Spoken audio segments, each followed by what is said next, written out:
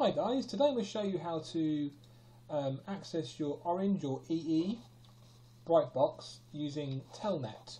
Um, I'm using Linux Mint, which is basically Ubuntu Linux, but um, if you don't know how to access, um, excuse me, focusing the camera, don't know how to access uh, Telnet, you'll need to do some research on that. Uh, if you're using Windows, the best bit of software to use is called PuTTY.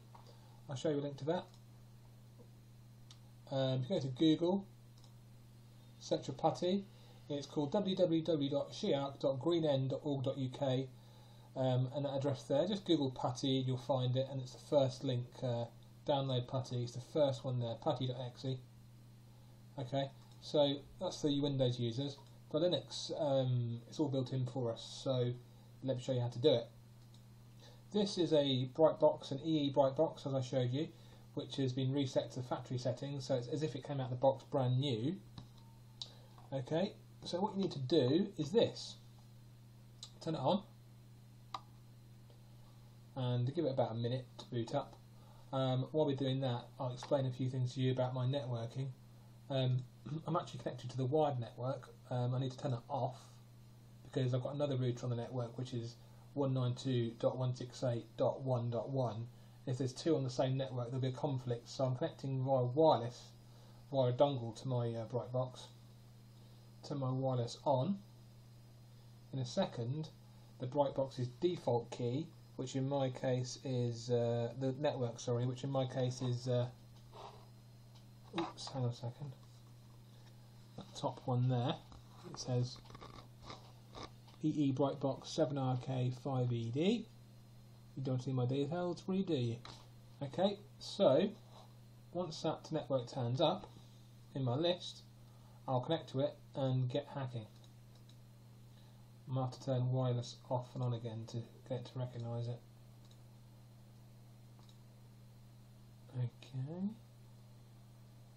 A second, see my network, my, my computer will automatically connect to this bright box here because it's, it's, it, it's uh, connected before, so it's remembered the credentials. Um, you'll probably be connecting via Ethernet cable. Um, via Wi-Fi you can connect; it doesn't make any difference, but you'll probably be connecting via Ethernet. So Anyway, is it going to connect or not? There we go. It's now connected. Once this thing lights up down here.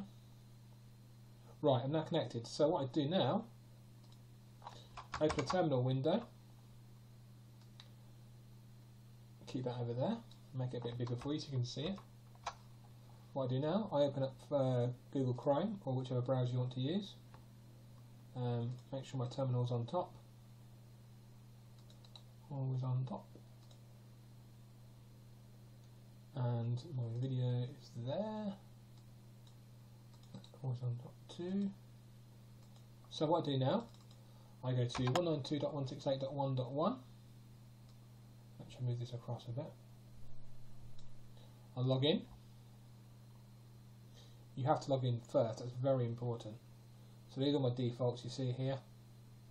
Okay now go to the address bar and you go to 192.168.1.1 forward slash uniform 132 oh hang on a second, do that again. A bit fast wasn't it? Uniform 132 x-ray Zulu Papa 32 AAI.htm I'll put that in the video notes anyway. So go to that. A button will pop up saying manufactory default. Uh, obviously lost in translation somewhere so I click on there. Warning, any changes you've made to your router will be lost. You need to wait about five minutes before you re re reconnect to the internet, etc, etc. Okay. Now applying the changes. So what I do, I wait for about a minute. I mean, it's not necessary to wait any longer. Uh, on the screen forums it says wait four minutes, but I think that's a bit excessive. You don't need to wait four minutes for the router. I mean, it's a pretty quick bit of kit. Um, so um, yeah, I'll just, you know, what I'm going to do, actually, I'm going to restart it now. I'm going to power it off. You're going to need to do a hard reset. Turn it off at the back. Uh, the power switch is next to the power jack, just there at the back where the power lead goes in. So off. Uh, five seconds, back on again. And now reboot.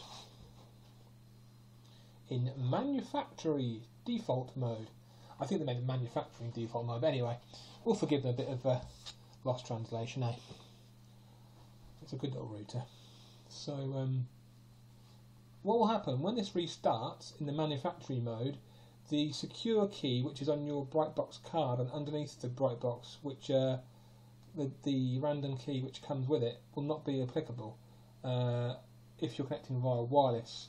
You'll basically, if you're connecting via wireless um, and you've gone into manufacturing default mode, you'll have a wireless network appear, which is an open network called WLAN, Whiskey uh, Lima Alpha November wireless LAN. So this thing pops up. Get rid of that.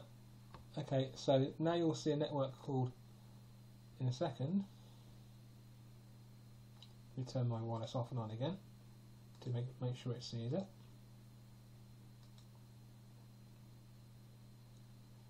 There you go, WLAN, it's connected straight away because it's connected before. Uh, WLAN, that's the um, wireless network it goes into um, when you've gone to manufacturing mode. Now, you could log in using admin and password. Oops, excuse me. P A S S W O R D. Um, yeah, you can log in using that, and you'll see now all the um, stuff that was there before. Um, information, excuse me, has all changed. Uh, wireless network name wireless LAN 1 is WLAN, as I said, and there's no security. This is the temporary manufacturing default mode. So what you want to do, you want to want to, you don't need this web UI at all now um, for the moment. You want to log into it by Telnet. Um, so on Windows you use PuTTY or another Telnet client. On uh, Ubuntu or Mac or Linux you use Telnet. So I do Telnet 192.168.1.1. Uh, this IP address may be different if you changed your router's IP address from the default, which is this one here, you'll just put in the IP address which you, uh, you've changed it to. Press return, and it says Brightbox login. The login is admin, lowercase a d m i n. The password is password, Papa Alpha Sierra Sierra, Whiskey Oscar Romeo Delta. You now have root at the Brightbox. It's not a read-write file system, it's read-only, but you can do things like go to the www folder and see everything. That's the whole uh, web server there. Um, so that's it basically. Um, once you've done that, you need to reboot the router. Oh, sorry, no, I'm misinforming you. Basically, if you go to the bin folder, ls, there's a utility here called util underscore ccfg underscore cli. If I go to, if I do this, slash bin util ccfg cli, it'll then give you the syntax um, of how to um, set your broadband username to anything which is non-EE or orange, um, which was the original hack which someone on the screen um, found out.